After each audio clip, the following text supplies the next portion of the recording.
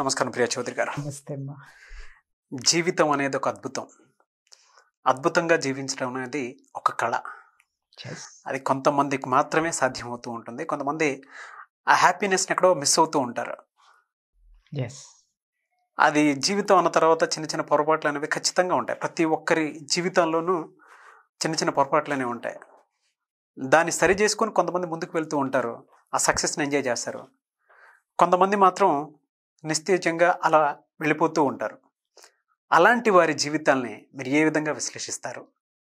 ఎలా మోటివేట్ చేస్తారు? నిజంగా చాలా మంచి ప్రశ్న. అంటే ప్రశ్నల్లో అన్నీ మంచి ప్రశ్నలే నాగరాజు గారు వేసేది. విలువైన ప్రశ్న ఇది. మీరు అడిగిన క్వశ్చన్లు అన్నిటికీ నేను ఒకే ఒక లైన్లో ఆన్సర్ ఇస్తా. Sure. Life is what we make it. Great. జీవితం అనేది అది ఎలా నడుస్తుంది ఏ మలుపులు తిరుగుతుంది అది ఎక్కడ ఆగుతుంది ఏ గమ్యం చేరుకుంటుంది అనేది మన చేతుల్లోనే ఉంటుంది అనేది నా విశ్వాసం నాగరాజ్ గారు. ఎలా అని అంటారేమో ఇప్పుడు మీరు అన్నారు జీవితం అనేది ఒక అద్భుతం అని అది అద్భుతమైనటువంటి మాట.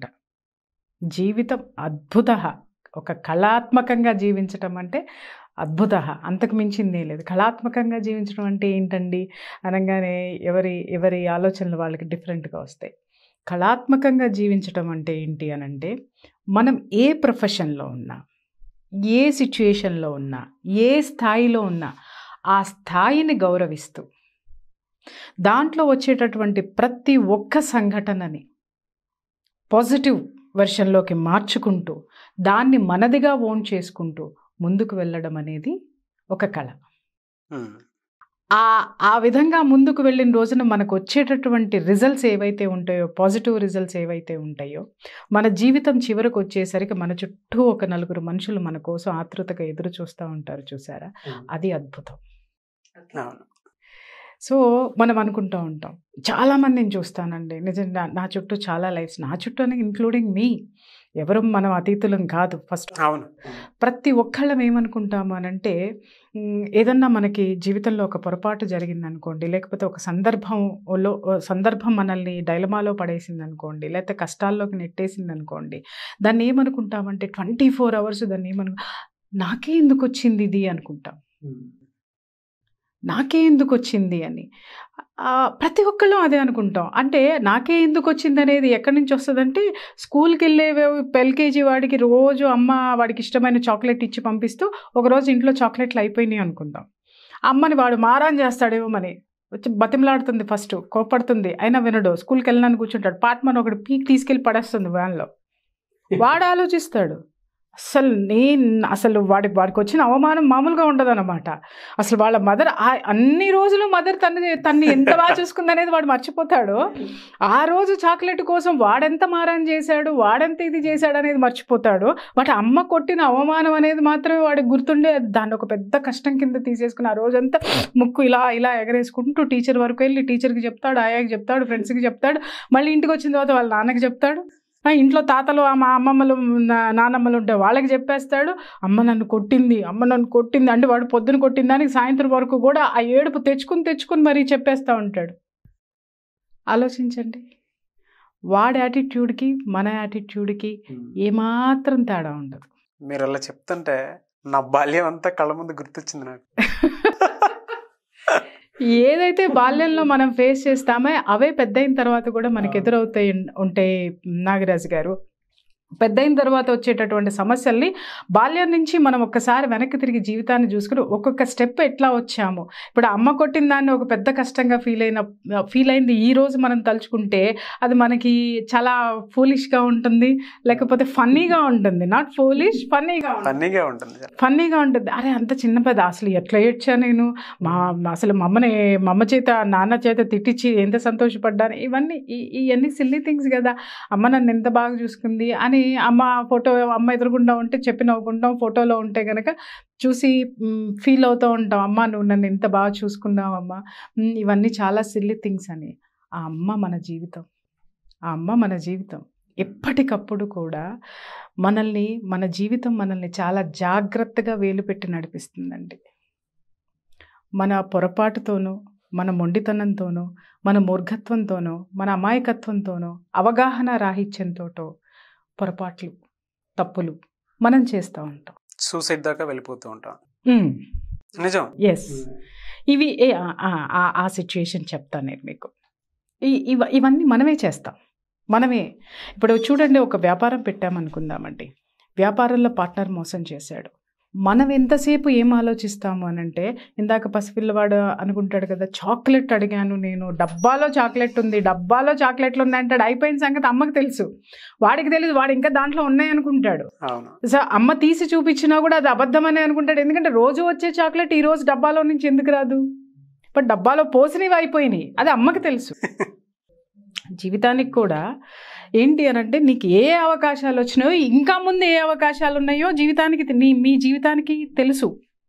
బట్ కానీ మీరేమనుకుంటారు అని అంటే ప్ర ప్రాణ స్నేహితుడండి నేను నమ్మాను నేను మో- నన్ను మోసం చేశాడండి వాడు నా ప్రాణ స్నేహితుడండి నేను నమ్మాను డబ్బు రాగానే వాడు మారిపోయాడండి అని చెప్పి మనం చా చాలా విషయాలు మనం వ్యాపారంలో నష్టపోయిన విషయాల్లో ఇవే ఎక్కువ వింటాం అనమాట నమ్మినాళ్ళు నట్టేట ముంచారు నమ్మినాళ్ళు నట్టేట ముంచారని.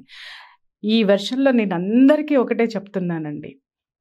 మోసం చేసేవాడు ఎప్పుడు నమ్మకంగానే ఉంటాడు మన దగ్గర. నమ్మిస్తే తప్ప వాడు మోసం చేయలేడు. ఇక్కడ మీరు నమ్మకా నమ్మకంతో ఎలా మోసం చేశాడు అనేదే మనం ఎక్కువ బాధపడతాం. మనం నమ్మాం కాబట్టే మోసం చేసాం అక్కడ తప్పు మీరు తప్పు చేశారు అని కూడా నేను క్వశ్చన్ చేయలేనండి ఎవరిని కూడా.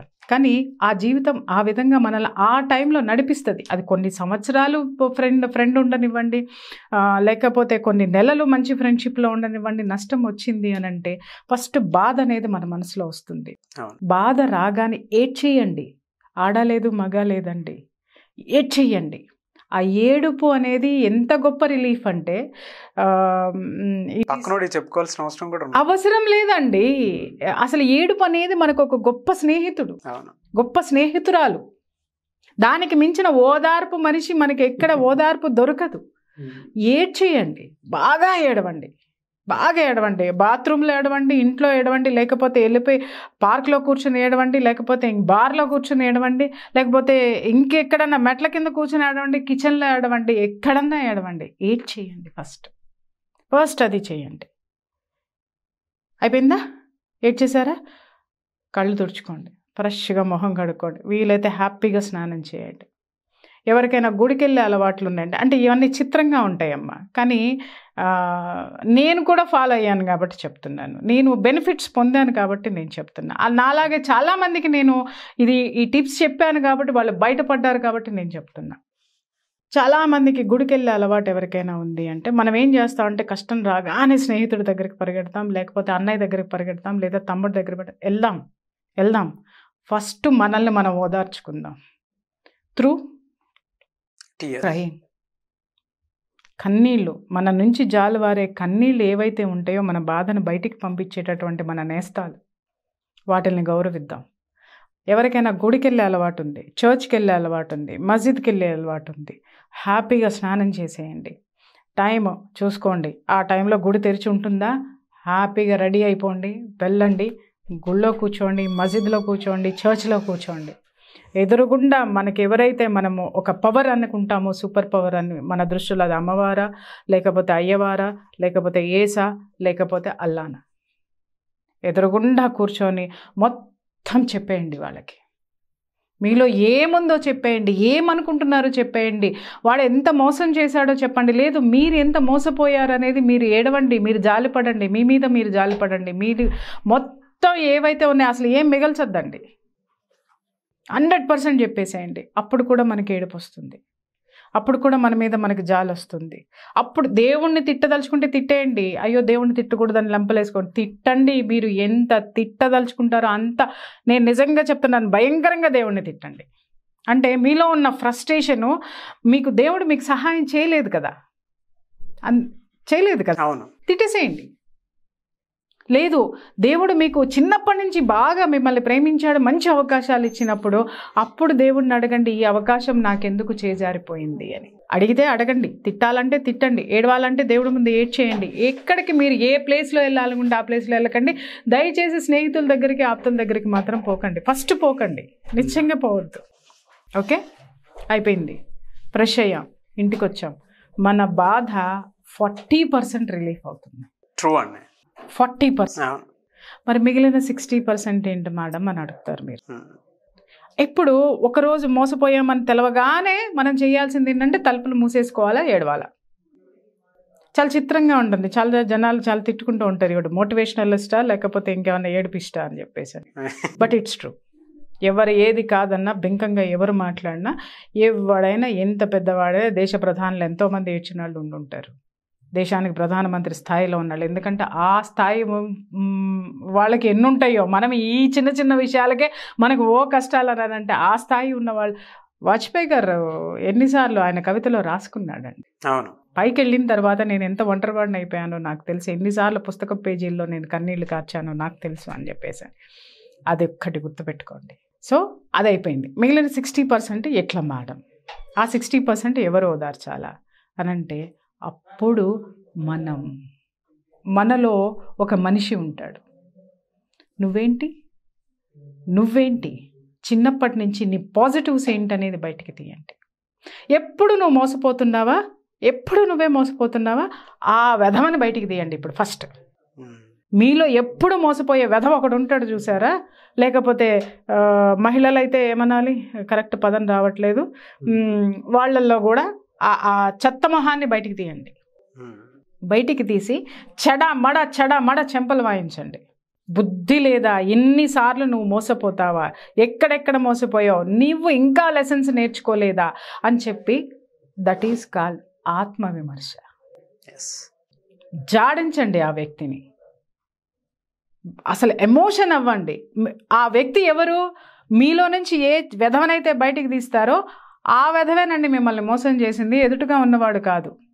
లేదు ఆ వెధవలో మిమ్మల్ని ఎవడైతే మోసం చేశాడు ఏ అమ్మాయి అయితే మోసం చేసింది లేకపోతే ఏ పక్కింటి మోసం చేసింది ఏ స్నేహితురాలు మోసం చేసిందో ఆడైనా మగైనా ఆ దాంట్లో ఊహించుకోండి. మిమ్మల్ని మీరు విశ్లేషించుకోండి. మీరు ఎంత గొప్పవాళ్ళు మీరు మీరు ఎంత వెధవ అనేది వెధవని బయటికి తీసేశారు కదా అప్పుడు మీలో ఉన్న క్వాలిటీస్ ఏంటో కూర్చొని ఒక్కసారి ఆలోచించండి. సరిదిద్దుకోలేనటువంటి కొన్ని తప్పులు ఉన్నాయి అని అనుకుంటారు. ప్రపంచంలో ఏ తప్పైనా సరిదిద్దుకునేదేనండి. అవకాశము జీవితం ఇస్తుంది మనకి. సమాజం ఇవ్వదు. గుర్తుపెట్టుకోండి. అందుకే ఆత్మహత్యలు జరుగుతాయి. సమాజం ఇవ్వదు అని ఎందుకు మాట్లాడుతున్నాను అని అంటే బయటికి రాగానే పక్కింటి ఏంటి? అలా జరిగిందంట కదా అనగానే మనసు చచ్చిపోతుంది మరి. సగం చచ్చిపోదు అక్కడ లేదు. మన యొక్క ఈ సోకాల్డ్ పెద్ద మనిషి బయటికి వెళ్ళాడు లేదా ఫోన్ మోగింది. ఏంట్రా నేను ఆ రోజు చెప్పాను? నమ్మొద్దని?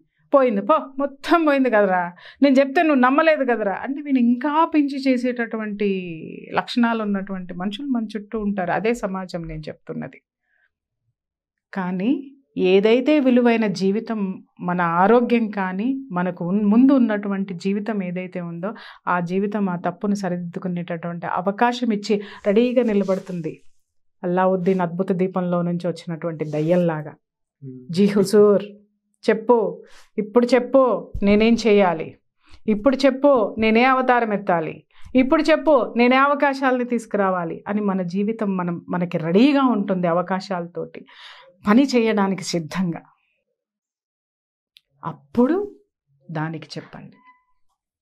తులపండి. చొక్కా దులపండి హ్యాపీగా వేసుకోండి. అంతకు ముందు కంటే పాష్గా రెడీ అవ్వండి. నేను చెప్తున్నాను ఇది ఫాలో అవ్వండి. పాష్గా రెడీ అవ్వండి. తలుపు తీసుకొని రండి. మంచి కాఫీ అలవాటు ఉంటే కాఫీ తాగండి. లేకపోతే చాక్లెట్ తినే అలవాటు ఉంటే చాక్లెట్ తినండి. స్వీట్స్ తినే అలవాటు ఉంటే స్వీట్స్ తినండి. మంచి ఫుడ్ తినండి. హ్యాపీగా బయటికి రండి. ఆశ్చర్యంగా చూస్తారు అందరు నోళ్ళు వెళ్ళబెట్టి మనకేసి. మీరు ఎంజాయ్ చేయండి. ఎందుకంటే మీ జీవితం మీకు రెడీగా ఉంది మీరు ఏది అడిగితే అది చేసి పెట్టడానికి. ఆ ఆత్మవిశ్వాసం అనేటటువంటి కోటు తొడుక్కొని బయటికి రండి. ఒకరోజు మాట్లాడతాను. మా ఎవడన్నా వచ్చి అట్లా అంటే నేను అడిగానా మిమ్మల్ని? నేను అడిగాను మిమ్మల్ని? వాళ్ళని ఇమ్మీడియట్గా కట్ చేయండి. మనకి సానుభూతి చూపించడానికి వచ్చిన వాళ్ళు ఎవరైనా వచ్చారు అని అంటే మీరు వాళ్ళకి సానుభూతి చూపించడం మొదలుపెట్టండి. అయ్యో మీరు చాలా బాధపడుతున్నారండి నా గురించి. అస్సలు బాధపడద్దు. I know myself what to do I came to know what not to do వాడు వెంటనే రిసీవ్ చేసుకుంటారు. అటువంటి వర్డ్స్ మాట్లాడుతూ ఉంటాయి కరెక్ట్ క్వశ్చన్ బలుపు వీడికంత పొగరు అవునా? ఆ ఎస్ కదా? ఇప్పుడు నేనేమన్నాను? ఆత్మవిశ్వాసం అనే కోటు వేసుకొని రండి అప్పుడు ఇవి మీకు వినపడవు. ఎందుకంటే వాడు మీకు షెల్టర్ కదా. వాడు మీకు బాడీ గార్డ్ కదా. ఆ వాడు మీకు షీల్డ్ కదా. ఆమె మీకు షీల్డ్ కదా ఆత్మవిశ్వాసం అనేటటువంటి మనిషి. ఆ ఆత్మవిశ్వాసం అనేటటువంటి కోటు. అది మీకు బుల్లెట్ ప్రూఫ్ అండి. వాడు మిమ్మల్ని ఏడిపించడానికి రెడీ అయ్యారు. మీరు ఇవ్వండి కౌంటర్. అప్పుడు చూడండి మీలో మీరు. అప్పుడు రండి బయటికి. అదే ఆఫీస్కి వెళ్ళండి లేకపోతే ఆ ఆఫీస్లో చోటు లేదా? రోడ్డు మీద చక్కగా హ్యాపీగా తిరగండి. తర్వాత ఏం చేయాలో ఒక విజన్ ఆలోచించండి. దాన్ని పేపర్ మీద పెట్టండి. లేకపోతే మైండ్లో పెట్టండి. ఆచరణలో పెట్టండి. అప్పుడు మేడం చెప్పారు కదా అనేసి నేను బయటకు వచ్చేసాను నేను వీళ్ళకి సమాధానం చెప్పేశాను. సాయంత్రం వెళ్ళిన తర్వాత అబ్బా మళ్ళీ వాడు రాత్రి అవ్వగానే మనతో ఎవరు మాట్లాడరు. రాత్రి అనేది భయంకరమైనది. చాలా. అనే మనం అనుకుంటాం. కానీ రాత్రి చాలా అద్భుతమైనదండి. ఎందుకంటే ఎస్ మనల్ని మనం ఆవిష్కరించుకోవడానికి ఆ రాత్రి అనేటటువంటి సమయము మనకు ఒక నిశ్శబ్దం అనేటటువంటి ఒక గొప్ప పుస్తకాన్ని మనకిస్తుంది. దాంట్లో రాయాలి మనం. మనం ఏమవ్వబోతున్నాం మనం ఏం చేయబోతున్నాం? ప్రతి క్షణాన్ని మనం ఎలా సద్వినియోగం చేసుకోబోతున్నాం? అది రాయండి నిద్ర వచ్చేంత వరకు రాయండి. నిద్ర వచ్చేంత వరకు ఆలోచించండి. హ్యాపీగా ఆలోచించండి. మీ అద్భుతమైనటువంటి జీవితం అందమైనటువంటి జీవితం మీ భవిష్యత్తు ఎలా ఉందో దాన్ని అద్భుతంగా ఊహించుకోండి. ఇట్ కమ్స్ టు యూ ఎలా వస్తుంది మేడం? ఉన్నదంతా పోగొట్టేసుకున్నాం మేడం. వాడంతా తినేశాడు మేడం. లేదు మేడం వీడు నన్ను అవమానించేశాడు. జీవితంలో నన్ను చెయ్యరానటువంటి అవమానాలు మనం అనుకుంటాము ఏంటి మేడం? అంత ఉన్న డబ్బంతా పోయిందండి. రోడ్డు మీద నిలబడ్డానండి. మొత్తం అంతా అయిపోయింది. హ్యాపీగా ఫీల్ అవ్వండి. ఇట్స్ ట్రూ హ్యాపీగా ఎలా ఫీల్ అవ్వాలి? నా కష్టార్జితం అండి. నువ్వేగా సంపాదించావు? నీ కష్టార్జితమే కదా? పక్కనోడికి తీసుకొచ్చి పోగొట్టలేదు కదా? పక్కనాడిది పోగొట్టిన దానికి కూడా నేను మళ్ళీ వస్తా. నీ కష్టార్జితం పోగొట్టుకున్నావు. అంటే నీకు సంపాదించే గట్స్ నీకున్నాయి. అది నీ స్వయం కృషి. నీ సొంత ఆస్తి. మళ్ళీ నువ్వు సంపాదించుకోగలవు. యాభై ఏళ్ళు వచ్చేసినాయండి. అరవై ఏళ్ళు వచ్చేసినాయండి. ఈ టైంలో దెబ్బ పడింది అని అంటే మీరు ఒక్కసారి గూగుల్ ఉంది కదా ఇవాళ రేపట్లో. సిక్స్టీ ఇయర్స్ నుంచి లైఫ్ స్టార్ట్ చేసి ఏమీ లేకుండా ప్లాట్ఫామ్ మీద నుంచి లైఫ్ స్టార్ట్ చేసినటువంటి వ్యక్తులు మల్టీ మిలేనియర్స్ అయిన వాళ్ళ స్టోరీలు కోకొల్లలు వస్తాయి. దాంట్లో అందరికీ తెలిసినటువంటి వ్యక్తి గురించి చెప్తాను. కేఎఫ్సి అవును. అతను ఒక షెఫ్ ఏదో ఒక చిన్న హోటల్లో షెఫ్. అతనికి ఉద్యోగం పోయింది. సిక్స్టీ ఇయర్స్ అయింది. బాబు నీకంత మతిమరుపు వచ్చేసింది. నువ్వు మా మా యంగర్స్ తోటి నువ్వు పోటీ పడలేకపోతున్నావు. ఇంకా చాలు సిక్స్టీ ఇయర్స్కి రిటైర్మెంట్ వస్తుంది కాబట్టి నువ్వు ఇంటికి వెళ్ళి రెస్ట్ తీసుకో అని అంటే ఆయన పార్క్ మీద బెంచ్ మీద కూర్చొని ఆలోచించాడు. నేను ఏం చేయగలుగుతాను ఈ వయసులో? నాకేమీ రాదు. అంటే I I mean in the sense ఈ ఈ వంట తప్ప వంట అనేటటువంటి విద్య తప్ప నాకు నేను చదువుకోలేదు నాకేమీ రాదు. నేనేం చెయ్యాలి అని చెప్పి ఆలోచించి ఆలోచించి ఆలోచించి మనలాగా అతను డిప్రెషన్లోకి వెళ్ళలేదండి. మోటివేషన్లోకి వెళ్ళాడు. వెళ్ళి అప్పుడు తనకి ఏవైతే వచ్చో ఆ ఆ వచ్చినటువంటి వంటలకి కొత్త వాటిల్ని చేర్చి కొత్త హంగులు చేర్చి ఒక ప్రయోగం చేసుకొచ్చి కేఎఫ్సి చికెన్ అనేటటువంటి దాన్ని పట్టుకొని వస్తే ఇవాళ విశ్వవ్యాప్తం అది. ఈరోజు ఎన్ని వేల బిలేనీరా ఈరోజు? అతను. ఆలోచించండి. అంటే ఇంకా ఎంత వయసు మనకుంది ఎంత ఓపిక మనకుంది ఎంత ఆలోచన మనకుంది ఎంత జీవితం మనకుంది. అది ఆలోచించండి. తర్వాత రెండోది అనుకుంటాం మనం అవమానం పడిపోయాము. అంటే నేను వ్యాపారం వరకే మాట్లాడాను. వ్యాపారం కాని అవమానాలు కొన్ని ఉంటాయి. వ్యాపారం కాని మహిళల విషయానికి వద్దాం. మగవాళ్ళ ఆత్మహత్యలు అంటే రెండేనండి. ఒకటి లవ్ ఫెయిల్యూర్ అయితే రెండు వ్యాపారంలో నష్టపోతే. వ్యాపారంలో నష్టపోతేనేమో ఆస్తి విషయంలో కుటుంబం కుటుంబంలో తనకి విలువ ఇవ్వకపోతేనో ఈ మూడు విషయాల్లోనే ఆత్మహత్యలు అనేది జరుగుతూ ఉంటాయి. పేదరికము అనేటటువంటిది. అసలు నువ్వు అనేటటువంటి ఆస్తి నీకుంటే నీ చుట్టూ పేదరికం ఎక్కడుంది? ఎస్ జీవితం అనేటటువంటి ఆస్తి నీకు ఉండంగా నీకు పేదరికం ఎక్కడుంది? అంటే నీ ఆలోచన తప్పు. నీ ఆలోచన పేదది. దాన్ని ఉన్నతంగా మార్చు. ఒక చిన్న ఎగ్జాంపుల్ చెప్తానండి. మోక్షగుండం విశ్వేశ్వరయ్య గారి గురించి చ కొంతమందికి తెలుసు కొంతమందికి తెలియదు ఆయన ఆర్కిటెక్ట్ అండి. ఇండియా కి సంబంధించిన అంటే భారతదేశంలో అతి గొప్ప ఆర్కిటెక్ట్లో హీస్ ఫస్ట్ ప్లేస్ అన్నమాట. అంత గొప్ప ఇంజనీర్ ఆయన ఆర్కిటెక్ట్. ఆయన వర్క్ గురించి యాటిట్యూడ్ గురించి ఆయన ఒకసారి చెప్తున్నాడు. ఏంటి అని అంటే ఒక్కొక్కళ్ళ జీవితంలో పైకి ఎలా ఎదగాలి అనే దాని మీద చదువుకున్న వాళ్ళందరికీ ఆయన లెసన్ చెప్తుంటే అక్కడ ఊడ్చి అతను కూడా అక్కడ నిలబడి వింటున్నాడు ఆయన చెప్పేటటువంటి ఆ క్లాస్ని అంతా అయిపోయింది. అందరు బయటికి వెళ్ళిన తర్వాత ఆయన కూడా వెళ్తుంటే గబగబా వచ్చి ఆయన బ్యాగ్ పట్టుకొని నడుస్తూ అయ్యా మీరు ఇంతకి అందుకు ఇంత చెప్పారు కదా? నాకు ఒక ఆలోచన వచ్చింది. ఎవరైనా పైకి రావచ్చు జీవితంలో అని లాస్ట్లో ఒక మాట అన్నారు. నేను అడుగుతున్నాను నాకు ఒక డౌట్ వచ్చింది అడగచ్చా అని అడిగాడు ఆయన. అడిగితే పర్వాలేదు అడుగు అన్నాడు ఆయన. అడిగితే ఏమీ లేదు నేను ఇక్కడ కేవలము స్వీపర్ని నేను ఊడుస్తాను ఇక్కడ. ఊడవటం తప్ప నాకు తెలీదు. ఓకే నాకు ఆ పని మాత్రమే ఉంది. నేను జీవితంలో ఎలా పైకి రాగలను? అని క్వశ్చన్ చేశాడు ఆయన. మనం ఏం ఆలోచిస్తాం చెప్పండి? ఇప్పుడు మనం ఇందాక చాలా మాట్లాడుకున్నట్టు పడుకోండి కలలు కనండి లక్షలు వస్తాయి కోట్లు వస్తాయి ఏదన్నా వ్యాపారం చేయండి. ఆయన అలా చెప్పలేదు. ఆయన భుజం మీద చేయి వేసి ఒక్కటే మాట అన్నాడు ఆయన. నువ్వు ఏ పని అయితే చేస్తున్నావో అది నువ్వు తప్ప ఎవ్వరూ చేయలేనంత నీట్గా చెయ్యి అన్నాడు ఆయన. నువ్వు నువ్వు తప్ప ఎవ్వరూ చేయలేనంత నీట్గా చెయ్యి యూనిక్గా ఉండమన్నాడు ఆయన చేసే పనిలో. ఎంత ఇంత చూడండి. ఇప్పుడు మీరు అన్నారే జీవించటం అనేది అద్భుతం అని నేను ఫస్ట్లోనే చెప్పాను. ఏదైనా ప్రతి క్షణం ఏ స్థాయిలో ఉన్నా సరే ఆ స్థాయిని గౌరవించుకుంటూ దాన్ని దానిలో పాజిటివ్ని తీసుకుంటూ ఒక స్థితిని మనం ఎంజాయ్ చేయటం అనేది అద్భుతం. ఇప్పుడు చూడండి అతను శుభ్రం చేయడం మొదలు పెట్టాడు అని అంటే ఆఫీస్ మొత్తంలో అతనికి ఎంత గౌరవం ఉంటుంది చెప్పండి. ఆఫీసర్ ఏ అని పిలిచి ఆఫీసర్ రారా కొంచెం ఇది నీట్గా చేసి పెట్టరా. నువ్వు తప్ప ఎవరు చేయలేరు. అతనితో అవసరం ప్రతి ఒక్కరికి ఉంటుంది. ప్రతి ఒక్కరూ అతన్ని గౌరవిస్తారు. ఇప్పుడు ఒక ఆఫీసర్కి స్థా ఏ స్థాయి ఉంటుందో ఆ ఆఫీసర్ కూడా ఇతనికి అంత గౌరవం ఇస్తాడు చిన్న వాళ్ళకు కూడా చెప్తున్నాను నేను. ఈ ఒక్క ఉదాహరణ చెప్తే అందరికీ అర్థమవుతుందని చెప్పేసి అని మేము చాలా మేడం మీరు బిజినెస్ల దాకా వెళ్ళారు నా దరిద్రం నన్ను వెంటాడుతుందండి అని మీరు మాట్లాడతారు కదా? ఆ దరిద్రం వెంటాడే వాళ్ళ వెంటాడే వాళ్ళకి ఈ ఈ స్టోరీ వాళ్ళకి చాలా మోటివేట్ చేస్తుంది వాళ్ళని. ఆడపిల్లల విషయం. వాళ్ళ విషయాల్లో ఆత్మహత్యలు ఎందుకు జరుగుతాయండి? ఒకటి ప్రేమించిన వ్యక్తి మోసం చేస్తే. రెండు వరకట్నపు కేసుల్లోనో భర్త పెట్టేటటువంటి హింసలో అత్తమామలు పెట్టేటటువంటి హింస భరించలేక ఆత్మహత్య చేసుకుంటారు.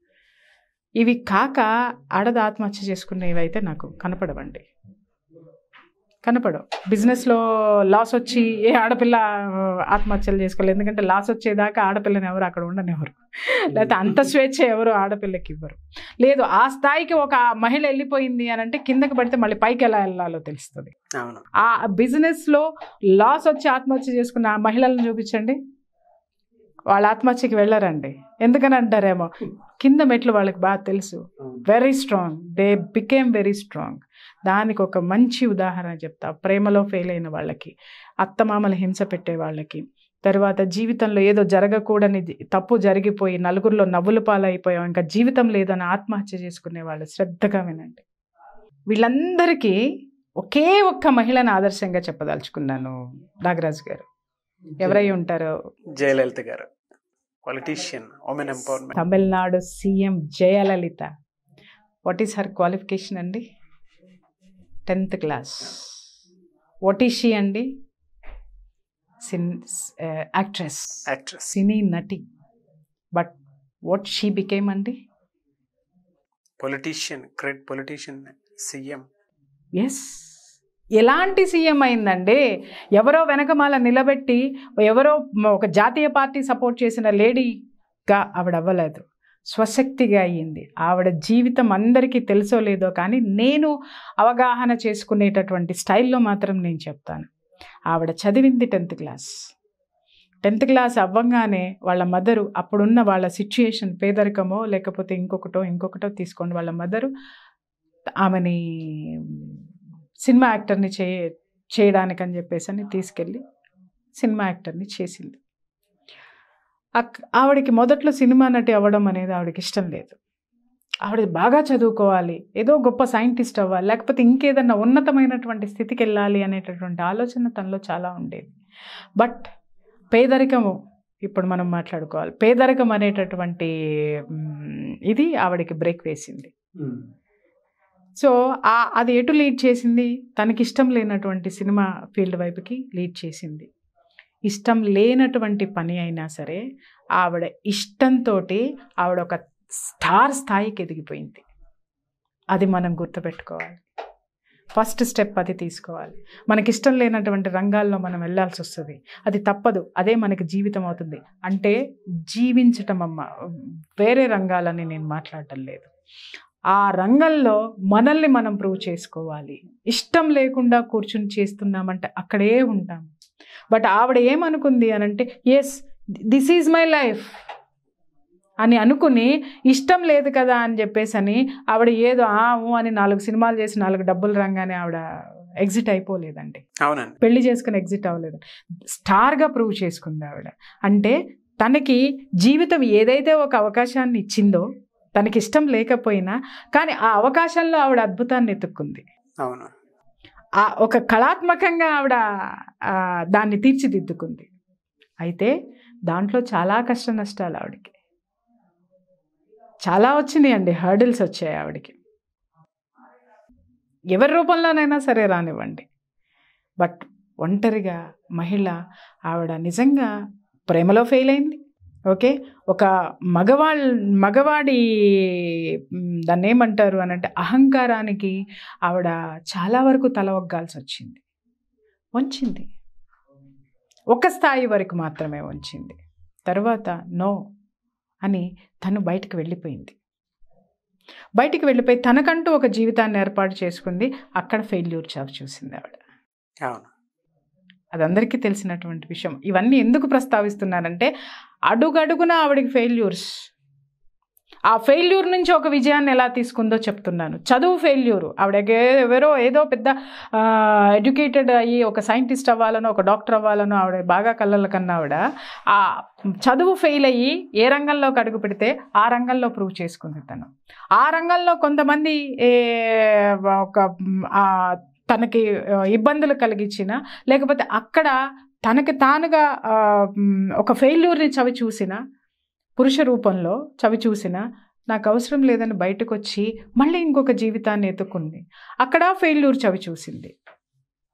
బట్ ఆవిడ డిప్రెషన్లోకి వెళ్ళారండి. ఆవిడ డిప్రెషన్లోకి వెళ్ళారు. కానీ ఆవిడ డిప్రెషన్లోకి వెళ్ళినప్పుడల్లా కూడా ఆవిడ చాలా జాగ్రత్తగా కౌన్సిలింగ్స్ కౌన్సిలింగ్స్ కౌన్సిలింగ్స్ ఆవిడ. అమెరికా వరకు వెళ్ళింది ఆవిడ డిప్రెషన్లో కౌన్సిలింగ్ తీసుకుంటానికి. ఈ విషయం ఎవరికైనా తెలుసా? ఎస్ ఆవిడ అమెరి అంటే ఆవిడ చేతిలో డబ్బులు ఉన్నాయి కాబట్టి వెళ్ళిందండి. మేము ఎక్కడికి వెళ్ళాలండి అని అంటే నేను ఫస్ట్లోనే చెప్పా. మనలోనే ఒక కౌన్సిలర్ ఉన్నాడు. తీయండి బయటికి. మోటివేషనలిస్ట్ ఉన్నాడు. తీయండి బయటికి. ఆవిడ మనం ఎంత దూరం వెళ్ళినా ఎవరు చేసినా మనలో ఉన్న మనల్ని బయటికి తీసి వాళ్ళు పంపిస్తారు. వాళ్ళని జాగ్రత్తగా తెచ్చుకోవాలి మనం. అది ఆవిడ చేసింది. తరువాత ఆవిడ ఆవిడకు ఉన్నటువంటి నాలెడ్జ్ ఏమండి? ఆవిడ చదువుకోలేదు ఆవిడకి డిగ్రీ చేతిలో లేదు కానీ ఆవిడ దొరికిన ప్రతి పుస్తకము చదివిందండి. ఆవిడకి నచ్చినటువంటి సబ్జెక్ట్స్ని వాటి మీద అవపోసన పట్టింది. వాటిని అవపోసన పట్టింది అవగాహన చేసుకుంది. వాటి మీద ఒక గ్రిప్ సాధించుకుంది. ఇండియన్ ఎకానమీ మీద చాలామంది మా సీనియర్స్ చెప్తూ ఉంటారు జర్నలిస్టులు ఇండియన్ ఎకానమీ సిస్టమ్ మీద ఆవిడకున్నంత నాలెడ్జ్ నిజంగా ఏ మహిళకి ఉండదని చెప్పేవారు. చదువుకున్నది ఏంటంటే టెన్త్ క్లాస్. బట్ ఆవిడ ఎన్ని రంగాల్లో ప్రూవ్ చేసుకుందండి. ఎడ్ ఇక్కడ విద్య అనేది అర్హత కాదు. మన జిజ్ఞాస ఏదైతే ఉందో అది ఒక్కటి అర్హత. తర్వాత ఏం జరిగిందండి? ఎంజీఆర్ ఆవిడ్ని రాజకీయాల్లోకి తీసుకొని వచ్చారు. రాజకీయాల్లోకి ఎందుకు తీసుకొచ్చారో ఇక్కడ కూడా చెప్తానండి. ఆవిడ ఆవిడ ఆవిడ రాజకీయాల్లోకి ఇష్టంతో రాలేదు లేకపోతే ఇంకొక విధంగా రాలేదు. ఈ అన్నా డిఎంకే ఏదైతే ఉందో అన్నా డిఎంకే అంతా కూడా ఈ ఈ యొక్క దళితులకి ఎక్కువ షెల్టర్ ఉన్నటువంటి పార్టీ అనమాట సో ఆయన ఏం చేశాడంటే ఒక ఉన్నతమైనటువంటి కుటుంబాలని ఆ- మరి ఆ పార్టీలోకి ఆకర్షించారు మరి రాజకీయ నాయకులు కదా. సో వాళ్ళని ఆ పార్టీ ఆకట్టుకోవడంలో వెనకబడిపోయింది. అందుకని చెప్పేసి అని ఈవిడ షీస్ uh, uh, ఒక ఆర్థడాక్స్ ఫ్యామిలీ uh, విమెన్ ఆవిడ. అప్పుడు ఆవిడని తీసుకొచ్చి నిలబెట్టాడు ఆయన. నిలబెడితే ఆయన ఎందుకు నిలబెట్టాడు అని అంటే షీజ్ అ స్టార్ అంటే ఆ అట్రాక్షన్ ఉంటుంది అనేటటువంటి మో ఆలోచనతోటే తెచ్చాడు కానీ ఆయన ఆవిడేదో గొప్ప మేధావని తీసుకురాలేదండి. అప్పుడు ఆవిడ ఒక అవకాశం ఆయన ఒక సభలో ఆవిడకి మాట్లాడడానికి ఒక అవకాశం ఇచ్చాడు ఎంజీఆర్ గారు. ఆవిడ మాట్లాడినటువంటి స్పీచ్ విన్న తర్వాత అప్పటికే ఆయన ముఖ్యమంత్రి. ఆయన మైండ్ బ్లోయింగ్ అనమాట ఆశ్చర్యపోయాడు ఆయన. అప్పుడు ఆయనకి ఆలోచన ఏంటంటే తన తర్వాత ఆ పార్టీని అంత గొప్పగా లీడ్ చేసేటటువంటి శక్తి సామర్థ్యాలు ఉన్నటువంటి వాళ్ళెవరూ ఆయనకి దొరకల. నిజాయితీ పరులు దొరకలేదు. రాజకీయాల్లో నిజాయితీ ఉండదు. సత్తా చూపించాల్సినటువంటి అవసరం ఉంది. అప్పుడు ఆయన ఏం చేశాడనంటే ఆవిడని మెల్లమెల్లగా మెల్లమెల్లగా ఆన్ స్క్రీన్ తీసుకురావడం అంటే తెర మీదకి తీసుకురావడం రాజకీయ తెర మీదకి తీసుకురావడం మొదలుపెట్టారు ఆయన. ఆమె తన శక్తితో వచ్చింది. జస్ట్ ఒక మెట్టు మాగా మాత్రమే ఉపయోగించారు కానీ స్టేజ్ మాత్రం ఆవిడే ఆక్యుపై చేసుకుంది. ఆ స్టేజ్ ముందున్నటువంటి ప్రేక్షకులను ఆవిడ ఓన్ చేసేసుకుంది. ఆవిడ స్పీచ్ అనేటటువంటి స్టేజ్ని ఎప్పుడైతే ఆక్యుపై చేసుకుందో ఆ ఉన్నటువంటి ఈ ఓటర్స్ ఎవరైతే ఉన్నారో జనం ఎవరైతే ఉన్నారో వాళ్ళు మొత్తం కూడా ఓన్ అయిపోయారు ఆవిడకి. తర్వాత ఏం జరిగిందండి? అనుకోకుండా ఎంజీఆర్ గారు సింగపూర్ వెళ్ళారు ఆపరేషన్ కోసం. ఆపరేషన్ కోసం వెళ్ళిన తర్వాత అప్పుడు ఆవిడ మొత్తం ప్రచారానికి సంబంధించినటువంటి బాధ్యతలు మొత్తం ఆవిడకి అప్పచెప్పారండి. చూడండి చాలామంది మహిళలకి అర్థమవుతుంది. రాజకీయంలో నెగ్గుకు రావడం అంటే చాలా కష్టం సొంత పార్టీలోనే. సొంత వాళ్ళతోటే. ఎంతమంది మనల్ని నమ్మిన వాళ్ళే మన పక్కన కూర్చున్న వాళ్ళే మనతో స్నేహంగా ఉన్న వాళ్ళే ప్రతి నిత్యం కిందకి గుంజేస్తూ ఉంటారు. అది పెద్ద బ- ఒక భయంకరమైనటువంటి ఊబి. దాంట్లో నుంచి బయటికి రాలేరు. దాంట్లో లోపలికి పోవడమే తప్ప తొక్కి వేయబడ్డమే లాగివేయబడ్డమే తప్ప అప్లిఫ్ట్ ఇచ్చే వాళ్ళు ఎవరు ఉండరు. ఆ సిచ్యుయేషన్స్లో ఆవిడ విజన్ చూడండి ఎంత గొప్ప ఆవిడ మేధావి అండి. అది చెప్పడానికే నేను ఇదంతా చెప్తున్నాను. ఆవిడ ఇమ్మీడియట్గా జనాల్ని పల్స్ ఎలా పట్టుకోవాలంటే అవతల ఉన్నది ఎవరండి? కరుణానిధి అనేటటువంటి దిగ్గజం ఉన్నాడు అక్కడ. అక్కడ ఎంజీఆర్ హాస్పిటల్లో ఉన్నాడు. ఆయన బయటికి ప్రాణాలతో వస్తాడో లేదో తెలియదు పార్టీని నిలబెట్టాలి. బాధ్యత ఆమె తీసుకుంది. పగ్గాలు ఆమెకి ఇచ్చారు. ఆమె ఏం చేయాలి? దాన్ని నిలబెట్టాలి అనేటటువంటి ఒక కసి పట్టుదల ఆవిడ జీవితంలో ఏవైతే ఓడిపోయిందో ఎక్కడైతే ఆవిడ జీవితాన్ని లాస్ అయ్యాననుకుందో ఆ కసి మొత్తం కూడా ఆవిడ పనిలో చూపించింది చూడండి. ఎక్కడైతే ఎంజీఆర్ గారు? హాస్పిటల్లో ఉన్నటువంటి ఆ, షార్ట్స్ని ఆ ఫొటోస్ని మొత్తం పోస్టర్స్గా వేయించి పడేసిందండి. అసలు రాజకీయంలో నిజంగా చెప్పాలంటే ఇండియాలో ఒక సింపతిని గెయిన్ చేసినటువంటి వేవ్ తీసుకొచ్చినటువంటి సిచ్యువేషన్ ఆ ఎలక్షన్స్ అప్పుడే జరిగింది. ఆ- ఆయన హాస్పిటల్లో ఉన్నటువంటి పోస్టర్స్ వేసి ఆవిడ ఇచ్చినటువంటి ఉపన్యాసాలు కానీ ప్రత్యర్థుల్ని ఏ కవతలు పడేయటం కానీ ఆవిడ అద్భుతమైనటువంటి ఉపన్యాసం ఇస్ స్పీకర్ ఆవిడ. అసలు ఆ, అసలు జనం. కోటే బంపర్ మెజారిటీ తోటి పార్టీ గెలిచింది. వచ్చిన తర్వాత ఆయన ముఖ్యమంత్రి అయ్యారు. ముఖ్యమంత్రి అయిన తర్వాత ఆవిడ పార్టీలో ఆవిడకి విపరీతంగా పెరిగిపోయింది క్రేజ్ పెరిగిపోయేసరికి చుట్టుపక్కల ఉన్న వాళ్ళకి ఎవ్వరికి కూడా అరే మేము పాతికేళ్ళ నుంచి పార్టీలో ఉన్నాం ముప్పై ఏళ్ళ నుంచి పార్టీలో ఉన్నాం మేము తర్వాత ఆయన తర్వాత ప్లేస్ని ఆక్యుపై చేయడానికి కొన్ని వందల మంది ఎదురు చూస్తూ ఉన్నారు. వీళ్ళందరూ కూడా they became enemies to her. మొత్తం. ఏం జరుగుతుందంటే అప్పుడు? ఒక్కటే ఆడది. అన్న లేడు అక్క లేదు తమ్ముడు లేడు మార్గదర్శులు ఎవరు లేరు. ఒక్క ఆడది ఇంతమందిని ఎలా ఢీకొంది నాగరాజు గారు?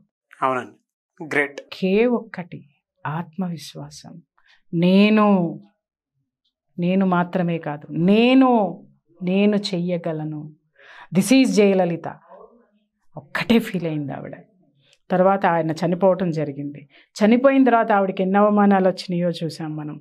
తరువాత ఆ పార్టీ నుంచి ఆయన చనిపోగానే ఆ పార్టీలో ఆవిడకి అంత క్రేజ్ ఉండేసరికి ఆవిడ ఉంటే మిగిలిన వాళ్ళకి ప్లేస్ ఉండదని పార్టీలో నుంచి బయటికి గెంటేశారు.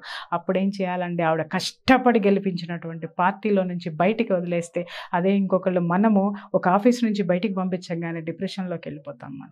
అవమానాలు జరిగిందని అనుకుంటాం మనం. కానీ ఆవిడ ఆ స్థాయిలో కష్టపడి ఒక ముఖ్యమంత్రిని చేసి ఆ పార్టీని అధికారంలో అధికారంలోకి తీసుకొచ్చిన తర్వాత ఆవిడ అక్కడి నుంచి గెంటి వేయబడింది.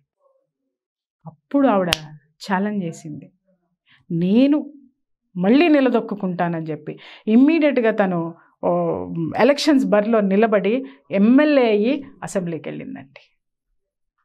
అసెంబ్లీకి వెళ్ళింది. అక్కడ ప్రత్యర్థి ఎవరు? కరుణానిధి.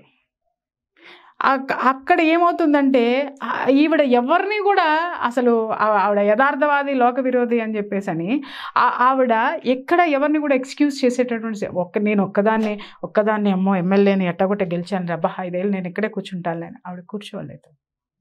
నేను నేను మాత్రమే ఇక్కడున్నాను. నేను గెలవాలి. ఇక్కడ కూడా గెలవాలి అనుకుంది. ఒక అధికార పార్టీలో ఉన్నటువంటి ఎమ్మెల్యేనో లేకపోతే ప్రతిపక్ష పార్టీలో ఉన్నటువంటి ప్రతిపక్ష నేత ఎలా అయితే ఉంటాడో అంతే గట్సుతోటి ఉండి అప్పుడు ఎవరైతే ముఖ్యమంత్రిగా ఉన్నారో చెడు కూడా ఆడిపారేసింది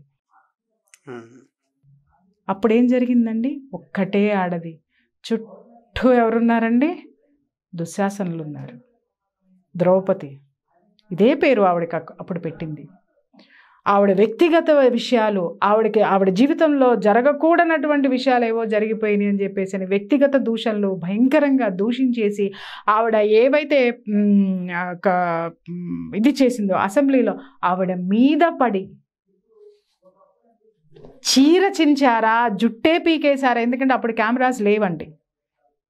ఇప్పటిలాగా ఉండున్నట్టయితే అప్పుడు పరిస్థితి అసలు ఆవిడ ఇంకా అసలు ఎంత బ్లాక్ బస్టర్ అయి ఉండుండేదో ఆవిడ కెరీర్. బట్ చీరేచించేశారు జుట్టు పీకేశారు కొట్టారో ఏం చేశారో లోపల బీభత్సం అయితే జరిగింది.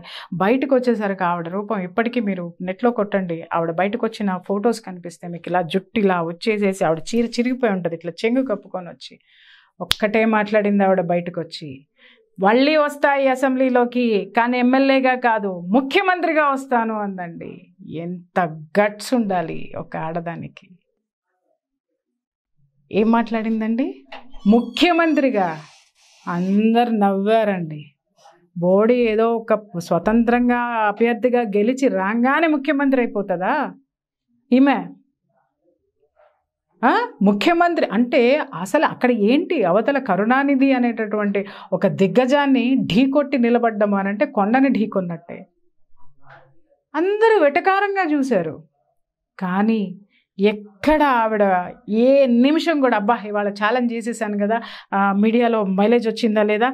ఓకే అందరు నన్ను ఇంటర్వ్యూలకు పిలిచారా లేదా? ఇంటర్వ్యూస్ ఇచ్చానని. కూర్చోలేదండి. జనంలోకి వెళ్ళింది. జనంలోకి వెళ్ళింది.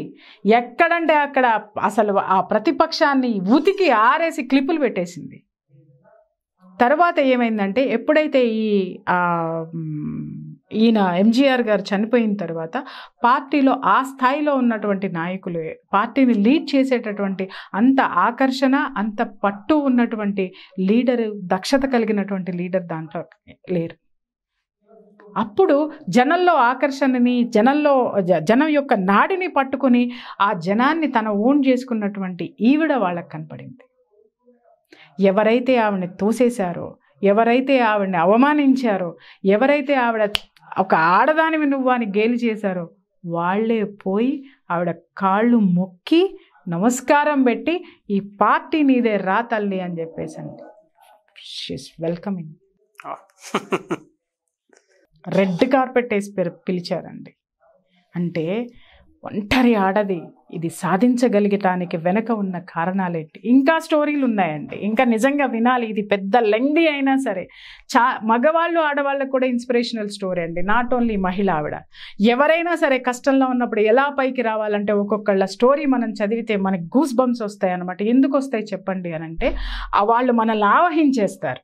ఆ పరిస్థితులు మనల్ని ఆవహించేస్తాయి. మనం ఖచ్చితంగా దాంట్లో నుంచి మనకు ఒక ఐడియాలజీ వస్తుంది.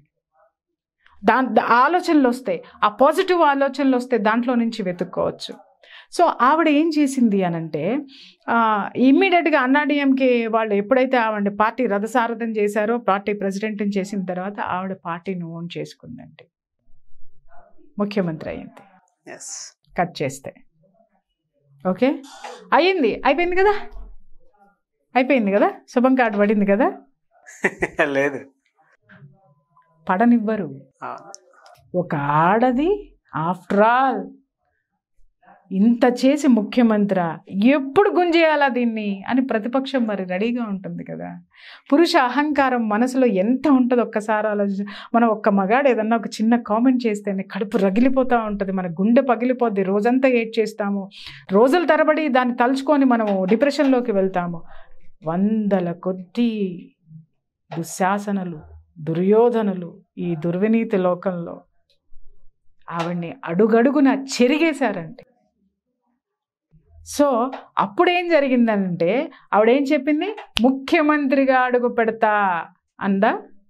అన్న తర్వాత ఏం జరిగిందండి? ఆవిడ యాక్చువల్గా ముఖ్యమంత్రి అయిన తర్వాత ప్రమాణ స్వీకారం ఎక్కడ జరుగుతుంది? గవర్నర్ ప్రాంగణంలో. గవర్నర్ ప్రాంగణంలో జరుగుతుంది ఆవిడ ప్రమాణ స్వీకారం అయిన తర్వాత ఫస్ట్ సెషన్స్ అటెండ్ అవ్వాలి కదండి? అవును. ఎక్కడ జరిగినాయో మీకు తెలుసా? ఎగ్జాక్ట్ ఐడియా లేదు స్టార్ హోటల్లో జరిగినాయి.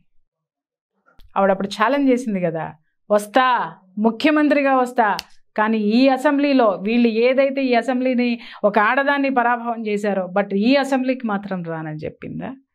తర్వాత అందరూ ముక్కును వేలేసుకుని ఏం చేస్తుంది ఏం చేస్తుంది? అసెంబ్లీ అక్కడ ఉంది ఏం చేయాలి ఏం చేయాలి ఏం చేయాలి? మూడు వందల యాభై కోట్ల రూపాయలు పెట్టి ఇప్పుడున్నటువంటి అసెంబ్లీని ఆవిడప్పుడు బిల్డ్ చేసింది. అందరూ ఇక ఎంత విమర్శలు ఉంటాయి చూడండి.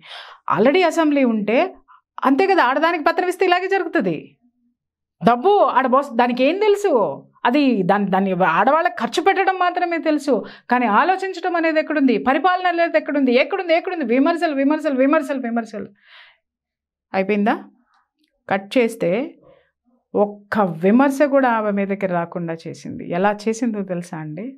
ఆ పాత అసెంబ్లీ ఏదైతే ఉందో సూపర్ స్పెషాలిటీ హాస్పిటల్ చేసేసింది గ్రేట్. ఏది? విజన్. మనం ఒక ఎపిసోడ్లో మాట్లాడుకున్నాం. అవును. ఆడదానికి శక్తి శక్తితో పాటు యుక్తి. యుక్తి. ఆ దుర్గాదేవికి ఉన్నటువంటి పరాశక్తికి ఉన్నటువంటి శక్తులన్నీ కూడా మనం ఇలాంటి మహిళల జీవిత చరిత్రలో చూస్తామండి. సూపర్ స్పెషాలిటీ హాస్పిటల్ చేసేసింది ఆవిడ. ఎవరైనా ఒక్కళ్ళు మాట్లాడతారా?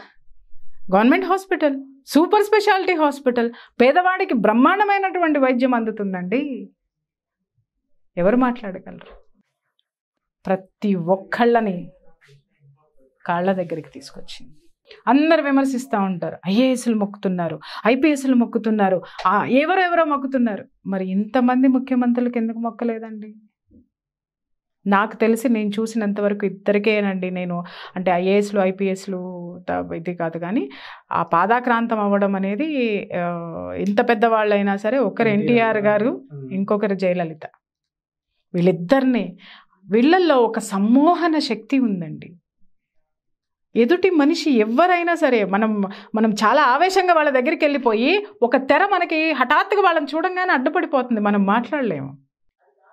ఆ ఒక్కసారి మనకి దిగిపోతుంది మన నెత్తి మీద ఏముందో. మొత్తం ఈ మీరు చూడండి ఎన్టీఆర్ గారు చనిపోయిన తర్వాత విమర్శించిన వాళ్ళు ఎన్టీఆర్ గారు బయట విమర్శించిన వాళ్ళు వాళ్ళని ఆయన ఎదురుగుండా కనపడంగానే ఎవరికి ఓ తప్ప ఇంకేం రాదు వాళ్ళ నోట్లో నుంచి. ఆ శక్తి వాళ్ళకి ఎలా వచ్చింది అని అంటే మేము ఏదో చెయ్యాలి జనం కోసం చెయ్యాలి అనేటటువంటి యాటిట్యూడ్ కలిగి ఉన్నారు వాళ్ళు. దాంట్లో నిమగ్నం అయిపోతారు వాళ్ళు దాంట్లో లీనమైపోతారు వాళ్ళు. కాబట్టి ప్రకృతి వాళ్ళకి ఆ శక్తినిచ్చింది. పదవుల కోసం వాళ్ళు కష్టపడలేదు. పదవుల్లోకి వచ్చిన తర్వాత జనం కోసం కూడా వాళ్ళు చేశారు కాబట్టి వాళ్ళకి ఆ శక్తి ఉంది. వాళ్ళ వాళ్ళు ఏ ప్రొఫెషన్లో ఉన్నారో ఆ ప్రొఫెషన్కి అంకితమై ఉన్నారు. అంత డెడికేటెడ్గా డిసిప్లిన్గా ఉన్నారు కాబట్టి వాళ్ళకి ఆ పవర్ ఉంది. ఇది గమనించాలి. అటువంటి ఆడది ఎలా లీడ్ చేసిందండి లైఫ్ని? ఎన్ని అవమానాలు జరిగినాయండి? ఆవిడ ఆ అవమానాలన్నింటినీ కూడా మనసులో నుంచి ఏం చేసిందంటే చేతల్లో చూయించింది. నేనిది నువ్వు మాట్లాడే వెధవ కామెంట్స్ చేసేటటువంటి నేను నిస్సహాయురాల్ని కాదు నేను ఒక పరాశక్తిని అనేది ఆవిడ ప్రతి విషయంలో ప్రతి విషయంలో ప్రతి విషయంలో నిరూపించిందండి. మనం ఇక్కడ జయలలితలో ఒక ఆడదాన్ని చూస్తున్నాం. నేనేమంటానంటే ఒక వ్యక్తిని చూడండి. మహిళలందరూ మహోన్నతమైనటువంటి పరాశక్తి పవర్ని చూడండి అక్కడ. పురుషులందరూ ఆమెలో ఉన్నటువంటి విజన్ని కానీ గుండె ధైర్యాన్ని కానీ అరే ఒక మహిళ ఎంత సాధిస్తే మీరెంత సాధించలేరండి? అది చూడండి. Yes both side of the sides of the coin it is just like a scissors ఆవిడ స్టోరీ రెండు వైపులా పదును. ఇటు మగవాళ్ళకి అటు ఆడవాళ్ళకి కూడా ఆదర్శం. అవును. ఇప్పుడు చెప్పండి. జీవితం అద్భుతమా? అధోగత. అద్భుతం అండి. అత్యద్భుతం. అవమానాల్లో నుంచి మనకి ఆవేశం పుట్టాలి. ఆవేశము ఆవేదన ఎలా ఉండాలంటే మన చేతల్లో మన విజన్ని ప్రొజెక్ట్ చేసేటటువంటి మన మన యొక్క ఆదర్శంగా మారాలి మనకది. మన లైఫ్ను నిలబెట్టేటటువంటి ఆవేశం ఆదర్శంగా మారిన రోజున ఆలోచనని ఆచరణలో పెట్టిన రోజున మన జీవితం అద్భుతంగా ఉంటుందండి. ఇదే అవమానాలు ఇదే తిట్టిన చోట చప్పట్లు కొట్టించుకుంటాం మనం. అలా నా జీవితంలో చాలా సందర్భాలు జరిగాయి అవు. ఎక్కడైతే నన్ను అవమానించారో నిజంగా చెప్తున్నాను కొంత టైం తీసుకుంటే తీసుకున్నానేమో కానీ అదే ప్లేస్లో నేను గెలిచి బయటకు వచ్చాను అదే. కారణం ఏమంటారు? కారణం ఏమంటారు? వీళ్ళందరి చరిత్రలో నేను వినలేదండి నేను చూడలేదండి నాలో డైజెస్ట్ చేసుకున్నాను నేను. అదే ఆ అనుభవం తెలుస్తుందండి. ఎగ్జాక్ట్లీ. ఎస్ ఒక్కొక్క మాట ఒక్కొక్క మాట పదుల్లో పేలుతుంటే తెలుస్తోంది. ఇట్స్ ట్రూ ఇట్స్ ట్రూ నేను నేను ఫీల్ అవుతానండి. ఇప్పుడు నేను ఒక్క విషయం అందరికీ చెప్తాను. నాకేదన్నా బాధ వచ్చింది అని అంటే ఎవరైనా ఒక్కరిద్దరు స్నేహితులు ఎవరన్నా ఉంటే అంటే ఇవి అన్నీ చేసేస్తా ఫస్ట్ ఏడుస్తా ఎందుకు వచ్చింది అనుకుంటాను ఇవన్నీ ఆలోచిస్తాను. స్నేహితులకి ఎందుకు ఫోన్ చేస్తాను అంటే నాకు వాళ్ళ నుంచి ఏదైనా హెల్ప్ అవసరమైతే చేస్తాను తప్ప నేను బేలగానో అబలనో అని చెప్పడానికి నేను చెయ్యను. నేను ఇది అనుకుంటున్నాను ఇక్కడ నా నీ హెల్ప్ నాకు కావాలి చేస్తావా చేయవా? ఓపెన్గా అడుగుతాను. చేస్తానంటే నాకు అప్పుడు ఇమ్మీడియట్ రిజల్ట్ రావాలి. లేకపోతే సెకండ్ కాల్ కూడా వాళ్ళకి వెళ్ళదు. వెళ్ళదు. వాళ్ళు చెయ్యకపోయినా కూడా నేను థ్యాంక్స్ చెప్తాను వాళ్ళకి ఫోన్ చేసి. ఎందుకు? వాళ్ళు చేయకపోతే అంతకంటే పెద్ద ఆపర్చునిటీ నాకు వస్తుంది. అందుకు థ్యాంక్స్ చెప్తాను. నా లైఫ్లో నాకు చాలా జరిగినాయి నాగరాజ్ గారు. నేను అందుకే చెప్తున్నాను. నాకు ఈరోజు నిజంగా నేను ఒక శక్తిని అయ్యాను అనంటే నా చుట్టూ ఉన్నటువంటి ఈ పాజిటివ్నెస్. నేను పది మందికి నేను చెప్పగలుగుతున్నాను. అంటే ఎవరైనా ఇన్స్పైర్ అవ్వగలిగేటట్టు నేను చెప్పగలుగుతున్నాను అనంటే వాళ్ళు బాగుపడాలి అనేటటువంటి పాజిటివ్ థింకింగ్. వాళ్ళని బాగు చెయ్యాలి అనేటటువంటి ఒక బలమైనటువంటి కోరిక. ఎందుకంటే ఆ జీవితం విలువ నాకు తెలుసు. ఎందుకంటే ఆ అవమానాల యొక్క ప్రతిఫలం ఏమనుభవిస్తామో నాకు తెలుసు. ఎందుకంటే ఈ ప్రపంచం ఎన్ ఈ ప్రపంచంలో ఉన్నటువంటి మనుషులు చాలా శాతం ఎంత చెత్తగా ఎంత భయంకరంగా ఉంటారో నాకు తెలుసు. బట్ వాళ్ళ నుంచి ఈ వాళ్ళ జీవితం వాళ్ళని ఎలా ప్రొటెక్ట్ చేస్తుందో నేను చెప్ప చెప్పగలను. ఎందుకు అనంటే ఆ స్థాయిలన్నీ కూడా నేను దాటుకుంటూ వస్తున్నాను. కాబట్టి నేను చెప్పగలుగుతున్నాను. ఎప్పుడైనా ఒకటి గుర్తుపెట్టుకోండి. ఎవడైనా మన లాగి కింద పడేశాడు అని అంటే దయచేసి ఎవరూ కూడా అది అవమానం అని ఫీల్ అవ్వకండి. ఎంతటి తప్పైనా సరే నేను నిజంగా చెప్తున్నాను. ఎంతటిదైనా సరే మన మనసులో దాని నుంచి బయటికి రావాలి అనేటటువంటి ఒక కాన్సెప్ట్ కనుక మనకు మనసులో వచ్చినట్టయితే కనుక ఒక పాజిటివ్ థింకింగ్తో ఉంటే కనుక దాన్ని మనం ఎప్పుడూ కూడా ఒకటి గుర్తుపెట్టుకోండి నాగరాజు గారు. మనం ఈ సమాజము మన అవసరము ఈ సమాజానికి మనం కలిగించాలి. మన యొక్క పగ మన యొక్క ఆసక్తత మన యొక్క చేతగానితనం మన యొక్క మోసపోయినతనం ఇవన్నీ కూడా ఈ రూపంలో మీరు బయటికి తీయండి. ఇలా మార్చండి. Everything comes to your feet అది అది మనిషిలో కావాలి. ప్రతి చిన్న పక్కవాడు ఉన్నదే మనల్ని విమర్శించటానికండి.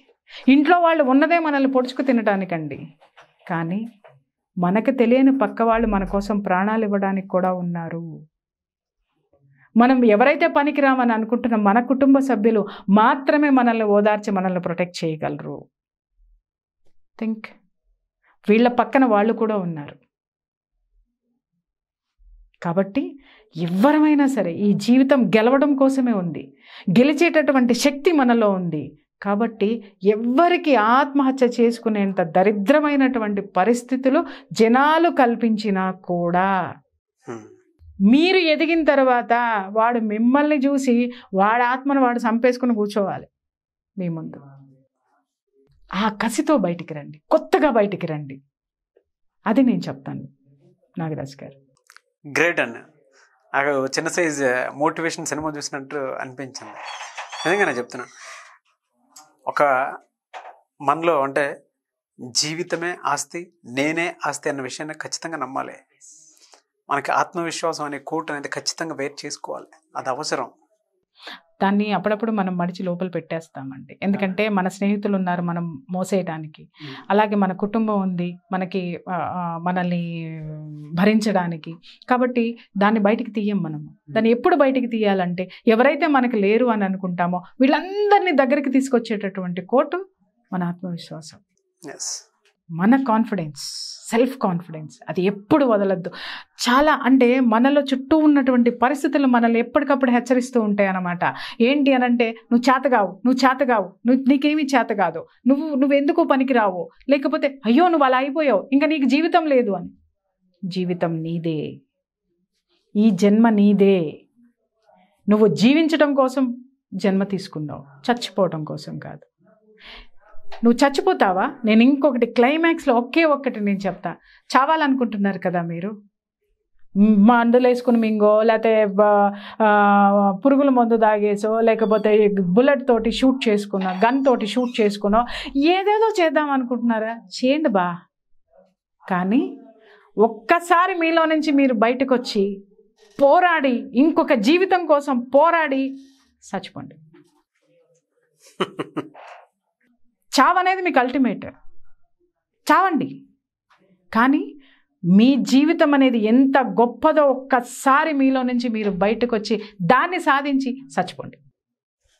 గుర్తుపెట్టుకోండి. Life is what we make it జీవితం మనం తయారు చేసుకునేదే అది ఏదైనా కానీ. చావా బ్రతుక. కళ నిసత్వ అద్భుతమా? దురదృష్టం. అదృష్టమా? దురదృష్టమా? అద్భుతమా? బీభత్సమా? Everything is in our hands own it take it lead it ఆనెస్ట్గా చెప్తున్నాను ఈ వీడియో మొత్తం విన్న తర్వాత both side of the coins ఎవరికైనా కనిపిస్తుంది అది మేల్ అయినా ఫీమేల్ అయినా సరే. నాకైతే కామెంట్స్ చూడాలని ఉంది అంటే ఎలా పోస్ట్ చేస్తారనేది. తప్పకుండా అంత అద్భుతంగా మీరు నరేట్ చేసిన విధానం కూడా నాకు అంత బాగా నచ్చిందండి.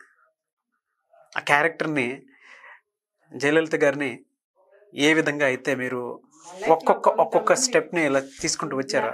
నా లైఫ్లో నాగరాజ్ గారు కొంతమంది మహానుభావులు ఉన్నారండి. వాళ్ళని ఎప్పుడూ కూడా ఆ బొమ్మలు నా నా కళ్ళ ముందు చెరగవు. జీవితంలో నాకు ఏదైనా కష్టం వచ్చింది అని అంటే నిజంగానే నేను ఏడుస్తా. ఇంకొక విషయం నేను అందరికీ చెప్తున్నానండి. మనకి బాధ వచ్చినప్పుడు మనం ఫ్రెండ్స్ దగ్గర వాపోతాం ఇంటి పక్కన ఆంటీలతో వాపోతాం లేదా మన ఆఫీస్లో ఉన్న కొలీగ్స్ తోటి వాపోతాం. బట్ నేనేమంటానంటే నీడ్ నాట్. చెప్పుకుంటే బాధ తగ్గిపోతుంది అని అంటే నిజమైన స్నేహితులు నిజమైనటువంటి బంధువులు నిజమైనటువంటి కుటుంబ సభ్యులు మనం చెప్పినా చెప్పకపోయినా మనతోనే ఉంటారు. వాళ్ళు మనల్ని అర్థం చేసుకుంటారు. కాబట్టి అంటే నా ఫ్రెండ్ కాబట్టి చెప్పొద్దా అని కొంతమంది ఫ్రెండ్స్ ఫీల్ అవుతారు. మీకు చెప్పకపోయినా మీరు మీ ఫ్రెండ్ని అర్థం చేసుకోగలరు. మీరు చెప్పకపోయినా మీ కుటుంబ సభ్యుల్ని మీరు దగ్గర అక్కున చేర్చుకోగలరు. చెప్పాల్సిన అవసరం లేదు. చెప్పి చాలామంది వీధిన పడుతున్నారు. చెప్పి చాలామంది ఇంకా నవ్వుల పాలవుతున్నారు. Don't go never do that అండి.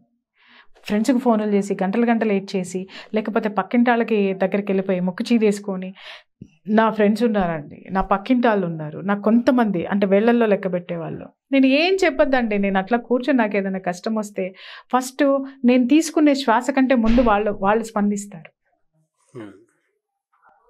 So I'm very lucky. అలాగే ప్రతి ఒక్కరికి ఉన్నారు. నాకు నాకు ఒక్కదానికని నేను ఎందుకు ఇక్కడ చెప్తున్నానంటే నే ఒక్కదాన్నే మీరందరూ కూడా.